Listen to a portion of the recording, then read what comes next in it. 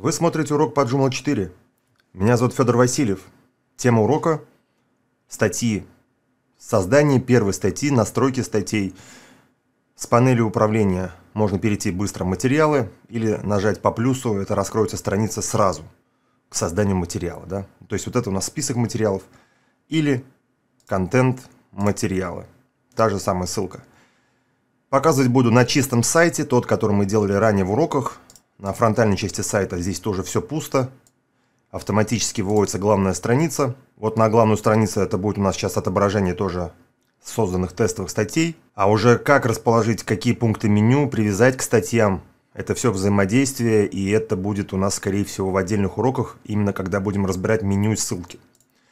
Сейчас про статьи. У статей тоже есть настройки, глобальные для всех статей, также будем рассматривать в следующих видео. Сейчас просто создание статей что там нужно знать новичку. Создать, либо создать материал, одна и та же кнопка. Давайте попробуем создать нашу первую тестовую статью. Первое, с чего начинается создание статей, это заполнение поля заголовка. Это обязательное поле. Здесь будет ваш самый главный заголовок для данной статьи. Я пишу статья 1 и сразу нажимаю «Сохранить». Как только я нажимаю «Сохранить», поле «Альяс» автоматически будет заполняться, и информация в альяс будет браться от этого названия. На английском ли вы пишете или на русском, альяс будет проставляться, и он абсолютно правильный. Он не должен быть ни в коем случае на русском языке. Альяс – это, по сути, часть ссылки, которая будет видна поисковикам, пользователям, и это будет видно у нас вот здесь вот в строке браузера, если человек перейдет э, в какой-нибудь какой материал. Например, вот это будет подставляться название вашей статьи. То есть то, что будет браться из алиас. Следующий момент. Весь текст и вообще в целом контент вы будете заполнять вот в этой области. На вкладке «Материал». Здесь также вам поможет в настройке материалов вот этот редактор. Tiny MCA, за который отвечает специальный плагин. Сейчас мы не будем детально вдаваться в этот плагин – разбирать его кнопки, об этом будет отдельное видео. Давайте я размещу какой-нибудь демо-текст. То есть вот так вот просто можете вставлять текст, фотографии а, можно загружать и отсюда.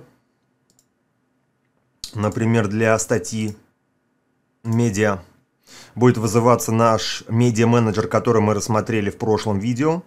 Например, выбрали изображение, вставить. Вот так вот вставляется изображение в статью. Но смотрите, здесь есть некий момент. Изображение ссылки Сейчас мы с вами дойдем. Будем сейчас разбирать, и я расскажу отличия этих вот возможностей загрузки изображений от изображений, которые вы можете вставить просто в статью. Далее, здесь у нас есть такая колонка с настройками. Давайте их рассмотрим. Первое состояние опубликовано. Это значит, что статья будет видна на сайте. Дальше, в какой-то момент можно снять с публикации. То есть статья не удаляется с сайта, но на фронтальной части сайта никто ее видеть не будет.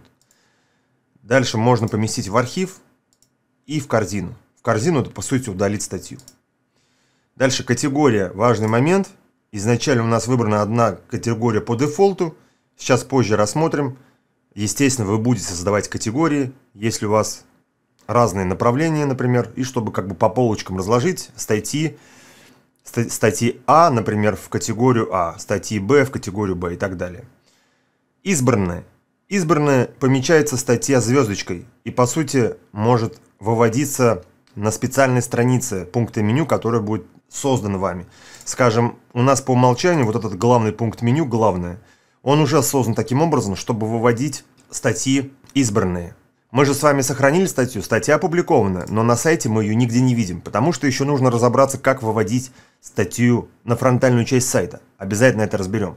Но прямо сейчас мы можем сделать ее избранной, нажать «Сохранить», и уже то, что мы сделали, заголовок, текст, мы уже с, вами сможем увидеть на сайте, обновив страницу. Вот наша первая статья, вот наш заголовок, вот наш текст. Информация о статье также здесь выводится. Если мы перейдем в список статей, нажмем «Закрыть», мы с вами увидим наша созданная первая статья, и вот она звездочка помечена – избранная. Если я кликну по звездочке, то я сниму эту статью, так сказать, из избранных и обновлю, и на главный уже не выводится. Вот именно главный пункт меню мы его можем по-разному настроить, чтобы он выводил разные материалы. Но просто когда мы Joomla только установили, пункт, пункт меню «Главное» всегда будет вести на статьи избранные. Поэтому пускай временно у нас будет эта статья избранная, чтобы мы могли ее здесь видеть и настраивать ее. Заходим обратно в настройки статьи. Далее доступ. Как раз таки кто будет видеть данную статью. Мы с вами уже о группах доступа разговаривали ранее. Паблиш, как правило, для всех. И еще распространенное бывает для зарегистрированных. То есть пока человек не зарегистрируется на вашем сайте, да, данную статью он не увидит. Пускай будет паблиш. Теги. На самом деле важный момент. Теги или метки. Лучше выводить сюда метки к вашим статьям. Какие должны быть метки? Ключевые слова, какие-то данные статьи. То есть вот прямо из заголовка. Вот у вас, если такой достаточно длинный заголовок, и там есть ключевые слова. В данном случае статья у меня есть ключевое слово. Как это делается? Просто можете писать, от руки написать и нажимать Enter. Вот сейчас мы видим, что метка появилась. Тег. И если вдруг вы ошиблись, то по крестику можно нажать, удалить метку и заново ее прописать. При создании новой статьи эта метка будет сохраняться уже, и вы сможете быстро ее вызвать из списка меток. Просто начать набирать первые буквы метки, например, ST, и метка будет появляться, ну, быстрый доступ. Вы сможете быстро выбрать метку. Это если во второй статье будут похожие ключевые слова встречаться. Давайте сохранимся. Зачем они нужны? эти ключевые вот эти метки. Во-первых, метки вот выводятся на сайте. Если есть разные статьи с одинаковыми ключевыми словами, то человеку очень удобно будет кликнуть прямо на эту метку и отсортировать, и покажутся все статьи с похожими, точнее даже с такими же ключевыми словами. То есть это удобная сортировка для пользователя. Далее, вот по этим меткам можно также вывести модуль поиск а, нужных материалов по меткам. Тоже очень полезно. Приведу пример своего сайта. Вот если я зайду в какой-нибудь блог свой, в одну из статей, метки у меня выводятся немножко по-другому. Зависит от дизайна шаблона. Вот мои метки.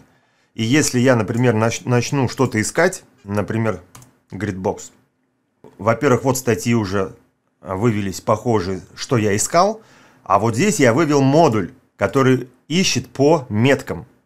И метки, видите, сами уже здесь будут подставляться уже с количеством статей найденных. Вот в кругляшке написано, например, Joomla 56. И человек, кликнув по метке, может сразу отсортировать все статьи на моем сайте по этой метке. И размер метки, видите, некоторые большие, говорит о том, что в наибольшем размере вот этого слова наибольшее количество статей. И это и видно. Тут вот 61 нарисовано, тут 56. Кликнув по метке Joomla, мне покажутся абсолютно все статьи на этом сайте, где я использовал слово метку. Но опять же, пока я создавал эти статьи, я не забывал в каждую статью вот здесь вот в этой области добавлять слово Joomla или Gridbox, да, например. Вот зачем нужны метки. Крайне полезная вещь, лучше это использовать. Дальше интересный момент. Есть два вида примечания. Примечание первое. Например, тест 1. При сохранении закрытия статьи вы сможете быстро видеть, ну, это примечание, пометка для вас. Вот в списке статей, например, будет видно алиас 1 и видите примечание и дальше текст примечания. А, какой-то некий ориентир, какой-то, если вам нужен, чтобы вы могли быстро вот так вот, не заходя в саму статью, по вот этой метке определить, да, вспомнить, что это может быть за статья. Может быть, еще для чего-то можно это использовать. Дальше, примечание версии. Здесь есть такая кнопка версия. Вообще в Joomla 4, а, я не помню, в третьей вроде не так это интересно сделано, но сейчас это сделано очень хорошо. Вот здесь есть такая кнопка версии. Вот смотрите, примечание. Например, версия 2. Сохранить. Где это будет отображаться, да, зачем это нужно. Когда статью вы создали, закрыли, потом, например, зашли в статью, там много раз ее редактировали, здесь есть кнопка версии. Если вы перейдете, здесь за разные даты а, за каждое, по сути, сохранение статьи, вот нажимание на кнопку, да, будет создаваться копия. Через определенное время она будет удаляться. И вот копия последняя, которую я сделал, видите, она помечена, как раз и есть это текст примечания, версия 2. Вот это примечание будет для этой копии. Что здесь можно делать? Давайте сразу об этом поговорим моментах, связанных с версиями, да. Вот смотрите, заголовок был статья 1. Например, я заголовок поменял, добавил туда что-то еще, нажал «Сохранить». Видите, какой теперь заголовок? Если я нажму «Версия», сразу создалась вот эта копия верхняя. Допустим, я хочу откатиться вот до этой версии. Во-первых, я могу кликнуть, да, по дате и во всплывающем окне увидеть вообще, как выглядит, как выглядела статья. И, например, она меня устраивает э, больше, чем последняя версия. То есть версия 2 помечена. Я нажимаю «Восстановить». И тут же восстанавливается из указанной даты, и видите, заголовок поменялся не 1.2, а первый заголовок, статья 1, как было написано вот в этой дате. Далее, что можно сделать еще? Понятное дело, просмотреть то, что мы с вами уже видели. Дальше есть сравнить, например, как в интернет-магазине. Две копии статьи, нажать «Сравнить», и идут сразу по колонкам, видите, а, сравнение этих версий данной статьи. Дальше. Через какое-то время у нас статьи будут удаляться. Например, какую-то копию вы хотите точно сохранить. Вдруг она вам понадобится. Вы ее выделяете и нажимаете «Хранить». Она помечается вот здесь вот замочком и не будет удалена. Значение параметров «Хранить» успешно изменено для версии. Захотите обратно отключить, уже стала вам не нужна, можете кликнуть просто по замочку, все, она будет в своем порядке удалена. Или вручную удалить ненужные версии. Вот так это работает здесь. Закрываем. Разобрались здесь с вами. И вот еще кнопку «Выключить редактор» в каких-то случаях. Если нажимаем, верхний редактор отключается. Если надо поработать вот без редактора, вдруг в каких-то случаях. И обратно, кликая на эту же кнопку, включаем данный редактор. Ну и, конечно же, э, чуть не забыл, кнопка «Предпросмотр». Очень удобно сразу посмотреть в готовом виде, как будет выглядеть статья. Движемся с вами дальше. Изображение, ссылки, вкладка. Давайте ее разберем. И вообще расскажу, вот чем отличается загрузка изображений сюда и просто загрузить ее сюда. Да? Давайте сразу наглядно посмотрим. Загружаем первое изображение. Открывается Media Manager. Как загружать сюда изображение с компьютера, вы уже знаете. У меня есть папка тест. Ну, давайте я загружу какое-нибудь изображение. Например, у меня есть Full HD изображение. И давайте сразу загружу какое-нибудь еще изображение. Зажатым Ctrl я выделяю два изображения с компьютера, открыть. И помещается два изображения. Пускай вот это изображение выбрать будет у нас отображаться в статье. То есть, смотрите, вот это изображение, оно будет отображаться в анонсе статьи. Давайте сразу сохранимся. Пойдем на сайт, обновимся. Вот видим это изображение. Дальше идет часть текста. Вот, вот сейчас у нас главная страница является выводом частей только статей, по-другому анонсы. Много анонсов. Человек, ознакомившись с анонсом, если его заинтересовала статья в дальнейшем, он может перейти, так сказать, внутрь, нажать «Статья 1», кликнув по заголовку, и тут будет полный список данной статьи в которую могут включаться и другие фотографии, видеофайлы, и еще какие-нибудь там документы для скачивания файла и другие настройки. Мы здесь не видим изображение в развернутой статье, то, которое здесь у нас есть. В каких-то случаях кому-то так нужно, чтобы в анонсе статьи была вот эта фотография, а в развернутой статье ее не было вообще. Вот как раз таки здесь это решается этим. Вы сюда загружаете только то, что хотите видеть в анонсе. Но если вы хотите то же самое изображение видеть в полной статье, тогда ниже вы загружаете просто то же самое изображение. Сохранить. Тут так и помечено, видите, вот эта колонка изображения полного текста. Если мы сейчас обновимся, мы то же самое изображение здесь увидим. Также и в анонсе оно есть, и внутри статьи. Но может так получиться, что вы хотите здесь не отображать то же самое изображение, но добавить другое изображение. Тогда оно будет преспокойненько показано здесь. Многие изображения загружают прямо отсюда, в тексте статьи. Но помните, загруженное изображение здесь, оно будет отображаться везде. И в анонсе, и в полной статье. Вот давайте удалим эти изображения. А вот здесь вот, сюда вот кликаем, нажимаем «Медиа», открывается тот же редактор, «Вставить». Здесь я его подуменьшу, чтобы оно не было слишком большим. Сохранить. То есть вот еще а, разница. То, что здесь вы можете управлять изображением, а здесь, по сути, вы загрузили, и все. Давайте главную нажмем. Вот, смотрите, это изображение, получается, у нас находится здесь. А, по сути, в анонсе. Если я захожу внутрь, здесь оно тоже появляется. Но есть маленький момент, который нужно тоже показать. Статью нужно разорвать на анонс и полную текст статьи. Например, после фотографии, если вы разорвете страницу, значит, это изображение загружено здесь в редакторе, оно будет и в анонсе, и в полной статье. А если вы разорвете статью до изображения, скажем, вот здесь выше, то изображение это будет только в полной статье. Давайте проверим. Здесь есть такая кнопка «Разрыв статьи». Нажимаем вот сюда и здесь выбираем «Подробнее». Вот где мышкой я кликнул, появилась а, линия такая Red Mo, разрыв статьи. Видите, красный пунктирный. Смотрите, если сохранимся, пойдем на сайт обновимся, так как я вставил тег Red Mo выше изображения, то тогда изображение не будет появляться в анонсе. Надо нажать будет на кнопку подробнее. Кстати, появилась кнопка подробнее, да? Тоже важный момент. Вот эта кнопка подробнее появляется только когда мы разрываем статью. Ну и, соответственно, в полной статье изображение есть. Вы понимаете. Теперь как Redmo удалить? Я просто по ней кликнул и по этой пунктирной линии оно удалилось. После изображения ставим, чтобы мигал курсор и вставляем подробнее. Вот видите, красная линия внизу. Сохранить. Тогда изображение будет и кнопка подробнее будет под ней.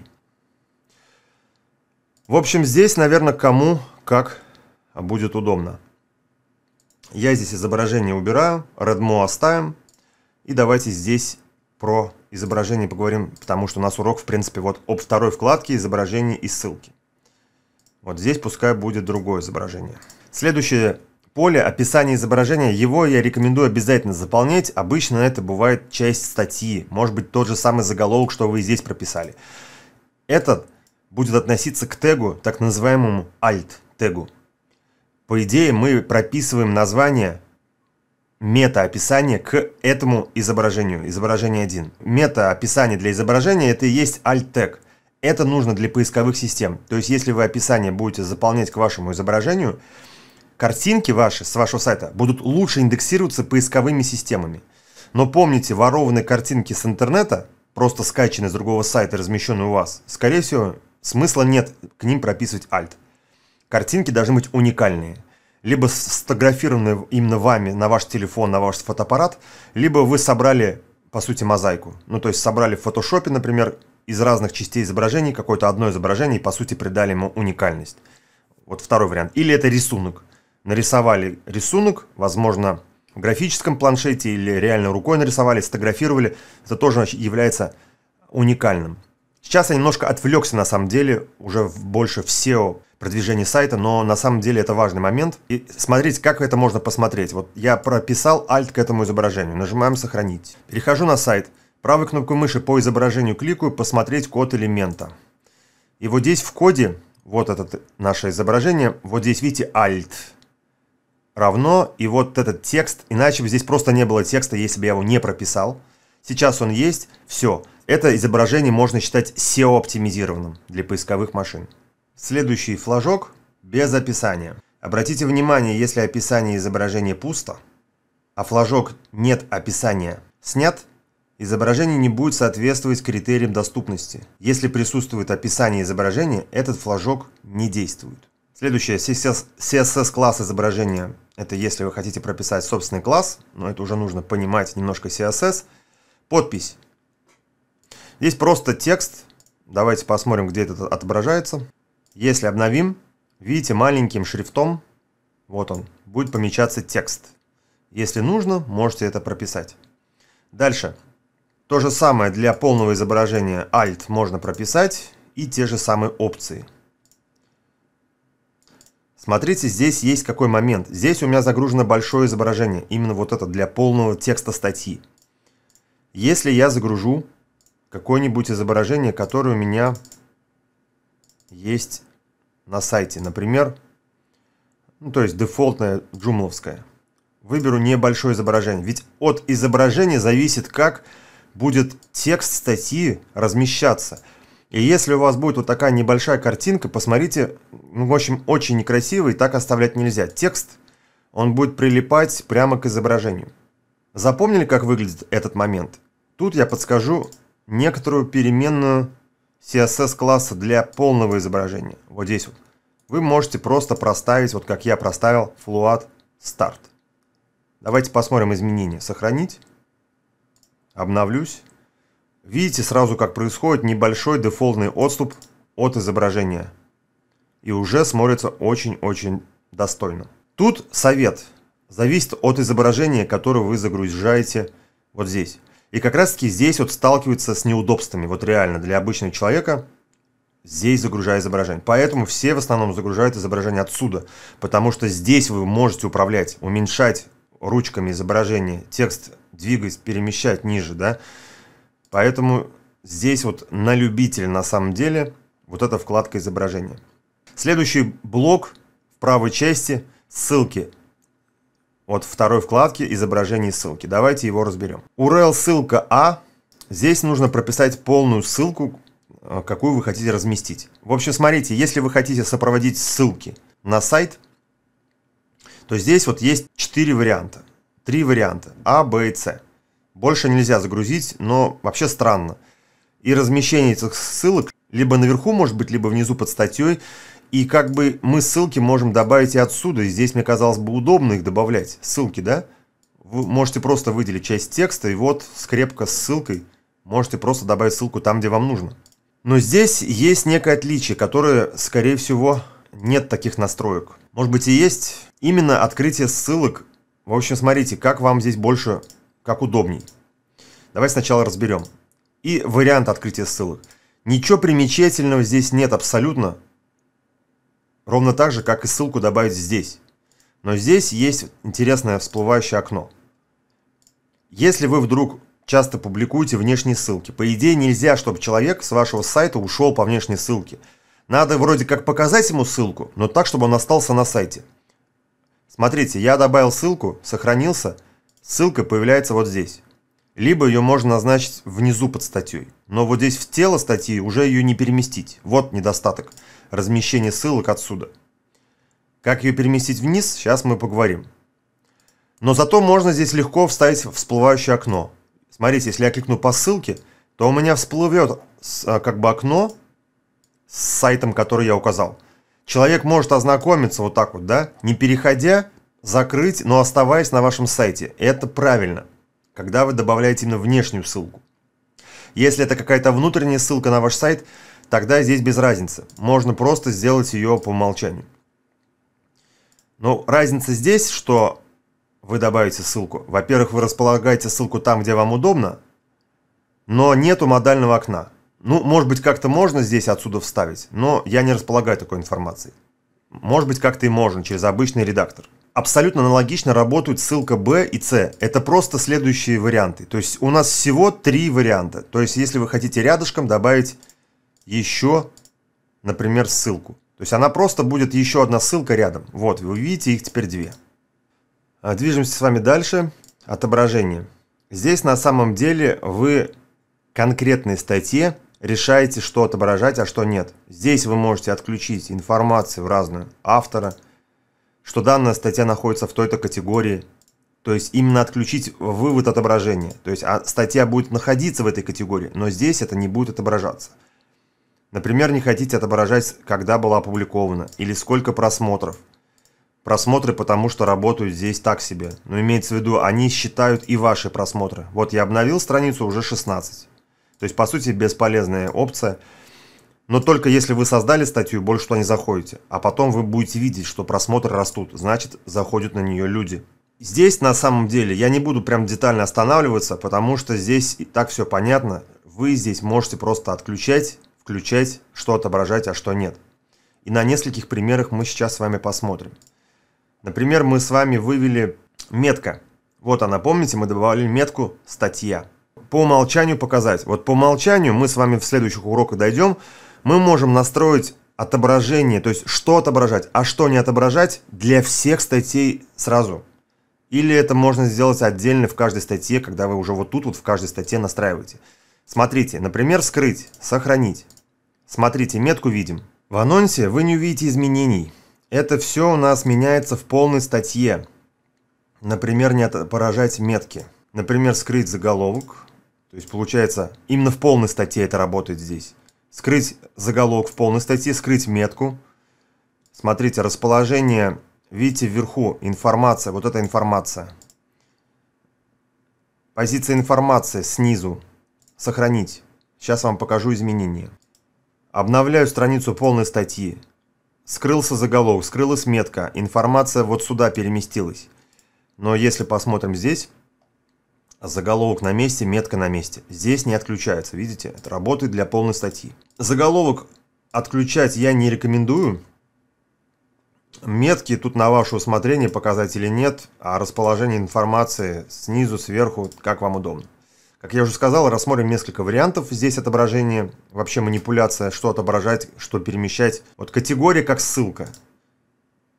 У нас вот этот текст, видите, и если я кликну на категорию, покажутся все статьи, находящиеся в этой категории. Тоже полезная вещь, но кому-то, может быть, не нужно, тогда она будет отображаться, но не будет ссылкой. Дальше информацию об авторе, да, нет. Дата. Давайте дату. Дата создания, дата изменения статьи, дата публикации. Например, я не хочу выводить. Сохранить. То есть вот у нас есть информация, да? Это у нас с вами анонс. Вот здесь вот у нас это скрывается. Видите, дата добавления. И ссылка вперед-назад. А здесь, так как статья только первая создана, больше не создана, я покажу на другом тестовом сайте, где много статей. Вот такая кнопка вперед. И когда мы пройдем в другую статью по этой кнопке, тогда появляется кнопка назад. И можно еще раз нажать вперед и быстрый переход, по сути, к следующей развернутой статье. Вот так, кстати, выглядит серия меток. Видите, сразу несколько штук. А так как у нас тут одна статья, у нас эти кнопки не выводятся. Но вы можете их тут тоже скрыть, показать, количество просмотров скрыть и так далее. И вот, например, хотите влиять на текст кнопки подробнее. Ведь у нас тут просто подробнее и статья написана. Как сделано у меня на сайте. Потому что у меня здесь сделано смотреть видео или смотреть демо, или читать статью. Я прям на кнопке это меняю, смотря в зависимости от какой контент у меня располагается в данной статье. Поэтому здесь я могу написать обзор. И кноп... текст на кнопке будет меняться. Естественно, это надо смотреть на нонс. Потому что подробнее кнопка, вот видите, обзор. Но подставляется еще заголовок статьи. Это уже можно отключить будет в настройках, чтобы было только слово обзор. Это уже мы посмотрим в следующем видео, где у нас будут общие настройки статей. И, например, заголовок в браузере. О чем идет речь? Если я зайду в статью в развернутую и наведу мышь, ну я и увижу даже здесь в браузере, вот о чем речь. Подставляется в браузер то, что вы написали заголовок статья. В каких-то случаях, возможно, заголовок вы хотите поменять. Например, я поставлю демо, сохранить. Обновлю сайт и уже в адресной строке вы видите у меня демо. Но заголовок не поменялся. То есть поменялся только в строке браузера. Вот если где-то это нужно, вот можно применить. Следующую вкладку рассмотрим. Одна из самых важных, по сути, вкладок для SEO-оптимизации сайта. Давай сначала левый блок разберем. Начало публикации. Автоматически будет проставляться дата, когда вы создали статью. Вы можете еще назначить, кликнув вот по этой иконке, завершить публикацию. Автоматически должна статья скрыться. Ни разу этим не пользовался, но вы можете кликнуть. Как только вы здесь что-то выберете, реально в эту дату статья скроется. Статьи лучше, чтобы всегда, наверное, висели на сайте. Они же индексируются поисковиками, это какой-то специфический момент. Поэтому здесь всегда пусто у меня. Также здесь есть еще начало избранного. Я так полагаю, оно будет в эту дату станет избранным. То, что мы с вами помечали звездочкой. И завершение избранного. То есть временно эта статья может попасть на страницу, где у нас отображаются избранные статьи. Также дата создания статьи автоматически проставляется, кто автор. Автор же у нас с вами выводится здесь, если мы выводим это, потому что мы можем это тоже отключить и здесь либо можно назначить автора из списка ваших зарегистрированных пользователей, реально поменяется, либо автор вот вы, ну в данном случае я Федор, но я могу здесь, ну так, просто напишу кабан, да, что поменяется просто название. Вот видите, вроде автор я, но здесь показано, что ник, ник будет показываться. То есть можно менять. Ну, дальше информация мы не можем тут менять, у нас это автоматически проставляется. Теперь давайте посмотрим самая важная вкладка на вкладке публикация, тут правая часть, метаданные. Description для каждой статьи обязательно заполняем. Внизу показано, что максимально 160 символов, включая пробелы. Это у вас будет мета-описание для статьи. Обычно это берется анонс статьи, одно, два, три предложения помещается сюда. Вот все, что будет расписано, заполнено поля, которые вот в этой части метаданные, это на сайте не будет отображаться людям. Это будут видеть только поисковики. И поэтому здесь обязательно заполняем вот именно description, заполняем обязательно. Keywords, не знаю почему до сих пор это поле не убрано, тем более в Joomla 4, так как уже много лет поисковики не учитывают keywords, это ключевые слова, ключевые слова вот данной статьи. Обычно писались тут через запятую, там 3-5 ключевых слов. Если хотите, можете заполнять. Но, насколько известно, вес это не имеет. То есть ничего это не даст ни продвижению статьи данной, ни сайта в целом. Мета-роботс. Об этом у меня был уже урок. Конкретную статью можно закрыть от индексации в каких-то специфических случаях. Вот ваш сайт, он весь индексируется, но конкретную статью вы можете закрыть вот такими атрибутами. No index, no follow. No index это для Яндекса, no follow для Гугла. То есть сейчас вот я выбрал нижний вариант, значит я закрыл полностью. Здесь можно для поисковика Яндекса открыть, для Гугла закрыть. И наоборот. Вот этот метод я уже подробно разбирал в уроке, когда мы смотрели глобальные настройки Joomla. Здесь то же самое, не буду повторяться. И про мета-роботс, что такое роботс, тоже был отдельный урок. Короче, хотите, чтобы статья индексировалась, лучше здесь ничего не трогайте. Автор, ну можете прям реально прописать, на сайте не будет отображаться, будет отображаться именно в метаданных для поисковиков. Желательно отображать, если вы действительно автор данной статьи. Metatag Rights. Здесь можете описать права, ваши права, если вы можете это подтвердить на данную статью. Ну, в, в большинстве случаев оставляем пустым. Это только если действительно хотите права здесь написать. Я так полагаю, что если кто-то сворует статью, то вы, наверное, сможете что-то через закон там предъявить, если у вас есть действительно на него права. Не знаю вообще, как это работает и в России работает ли это. Дело в том, что это же все-таки заграничная разработка Joomla, там все с правами у них четко сделано, и поэтому они от себя отталкиваясь на сайте делают э, разные возможности для авторов, поэтому здесь не знаю вообще, смысл есть в этом поле, нет, в любом случае это тоже будет отображаться, права на статью именно для поисковиков. Следующая вкладка «Формат» или «Форма». На самом деле эта вкладка, она управляет другими вкладками, отключая их в конкретной статье – эту вкладку форма доверенные ваши пользователи, которые имеют меньшие права, которые имеют доступ в админскую часть. Например, это наемный сотрудник, который публикует для вас статьи на вашем сайте. Он эту вкладку в статье не увидит. То есть это только для администраторов. Как она работает? Вот, например, изображение ссылки. Ставим «Нет», «Сохранить». И вкладка, вот это изображение ссылки сейчас пропадет. Вот, она пропала, вы видите, да? Конкретной статье. Соответственно, если ваш помощник, редактор, зайдет на сайт, в конкретную вашу созданную статью для редактирования, он и не увидит вкладку, вот эту вот, которую сейчас мы тоже не видим. Он ее тоже не увидит. И включить ее не сможет, потому что вот эта вкладка будет выключена. Ну и, соответственно, он отключает там публикация, стало вкладок еще меньше, да? То есть эта вкладка чисто отключает другие вкладки. Вот и все. Я верну все по умолчанию. Дальше у нас с вами остается вкладка «Права доступа». Ну, как правило, я сюда уже не лазю, если мне не нужно настроить права к конкретной статье. У нас был уже отдельный урок по правам и групп пользователей. В большинстве случаев вы сюда, наверное, заходить не будете. То есть вы глобально настроите права и, скорее всего, сюда заходить не будете. Итак, мы с вами рассмотрели статью «Сохранить» и давайте рассмотрим варианты. Например, у вас бывает такое, что часть контента будет повторяться, часть вы поменяете как это вот переносить быстро. Вы можете кликнуть не сохранить, закрыть или сохранить, а просто кликнув вот сюда на стрелку. Есть варианты, значит, сохранить и создать, сохранить в меню, сохранить как копию. Сохранить и создать, закроется эта статья и откроется чистая новая вкладка для создания новой статьи. Вот как раз таки тот пример, который я сейчас привел, это сохранить как копию. Давайте нажмем. Что произойдет? Будет произведен полный дубликат статьи, причем заголовок поменяется, добавляется автоматически двойка здесь. Альяс тоже меняется. И видите, метка сохранилась, примечание, текст сохранился, и все, что мы заполняли, ссылки, изображения, все есть. И давайте я сделаю несколько дубликатов, чтобы нам было с чем работать. И еще одну копию делаю уже с копией номер два. И давайте еще сделаю пару. Итак, я сделал 5 копий. Давайте посмотрим, чтобы нам было с чем работать. Вот они все статьи. Новая статья, естественно, по дате добавления добавляется сверху.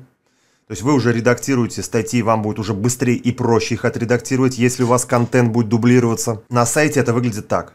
Пока это не настроено, по дефолту вот так вот статьи друг за другом идут. И через несколько статей появляется постраничная навигация. Это тоже мы рассмотрим, это тоже можно настроить в других настройках. Во-первых, отображение статей. То есть выводить, например, в две колонки, в три колонки. Это все можно сделать. Пока выводится у нас по дефолту. Я вернусь в первую статью. В Joomla 4 добавился еще здесь быстрое создание пунктов меню, сразу ведущие на конкретную статью. А, давайте быстренько посмотрим, но там дальше углубляться не будем в рамках данного урока, так как мы будем отдельно разбирать еще в отдельных уроках ссылки, пункты меню в Joomla. Если я нажму здесь «Сохранить в меню», что произойдет? У нас сохранится материал, Заголовок это уже будет пункты меню, можете поменять, то есть прямо в меню будет выводиться. Тип пункта меню материал, разберем детально позже, потому что типы пунктов в Joomla бывают разные. Просто это быстрый доступ, сразу сделать пункт меню, ссылку в меню, да, ведущая прямо на конкретную, на полную вот эту одну статью. То есть, когда нас сюда выбросит, надо еще раз нажать «Сохранить», опубликовано состояние, если я пойду на сайт, обновлюсь, то вот в модуле меню у меня появится пункт меню статья 1. Если я по нему кликну, этот пункт меню ведет сразу на разворот полной статьи. В каких-то случаях это будет нужно, и это просто быстрое создание а, пункта меню сразу связывает ее с этой статьей. И в этом видео не будем создавать отдельное видео по категориям, потому что мало информации.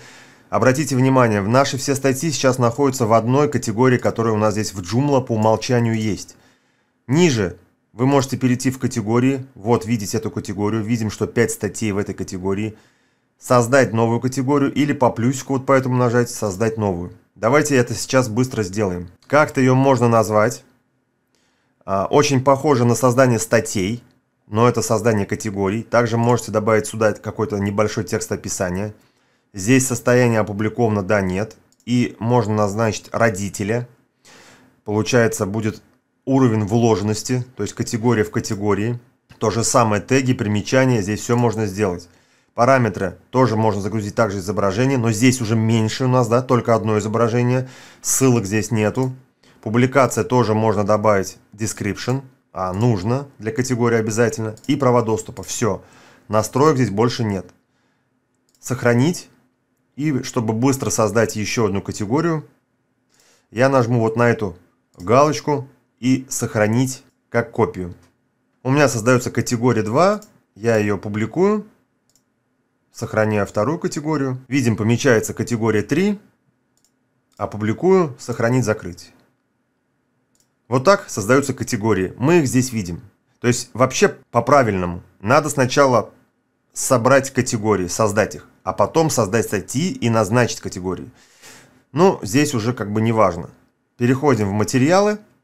Теперь, если ваши статьи относятся к разным категориям, вот здесь теперь список будет доступны вновь созданной вами категории. Пускай это будет категория 1, следующая статья будет в категории 2 и так далее. Вот еще смотрите смысл избранных материалов.